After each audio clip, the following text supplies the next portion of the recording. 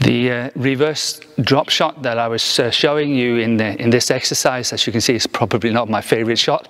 Still, nevertheless, it's a shot that you have to master. And uh, always remember to have your elbow very high and hit the shot as highly as possible. As and when you do the reverse uh, on, on the shot. So very important again, move and play the shot. And as you can see, some players are really good getting a good fast action on it and others not as good as that. It takes a lot of practice to do and it's not an easy shot. So uh, do enjoy, it's not easy.